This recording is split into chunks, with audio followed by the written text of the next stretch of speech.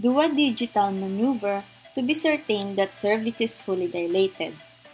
Feel the fetal suture lines and fontanelle to assess fetal position.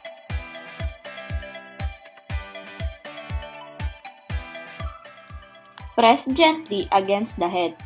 Face the towel head against the perineum and press upward to keep infant occiput close to the pubic symphysis and to support the perineum. Counter pressure by opposite hand to control head extension.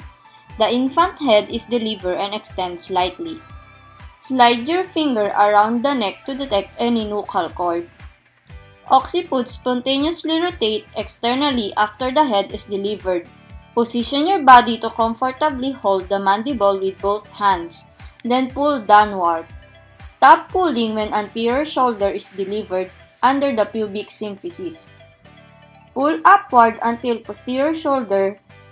Support the head with anterior hand and support the body with posterior hand.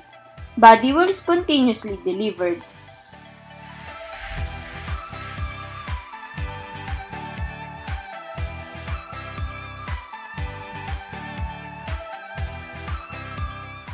Place the cord clamp at least 2 cm in umbilicus and another 5 cm and cut the cord between two clamps.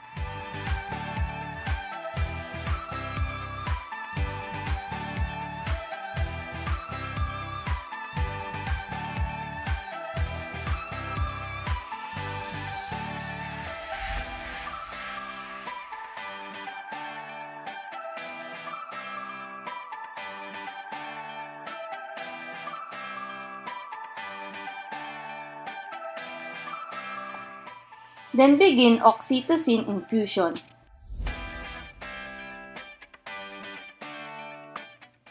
Place a basin. Clamp the umbilical cord as close to perineum. Place one hand above pubic bone and press downward, while grasping the clamp and pull gently and steadily. Release the clamp and clamp another one. As placenta begin to come out, grasp it with both hands. Place in basin and inspect perineum for laceration. Do by manual massage.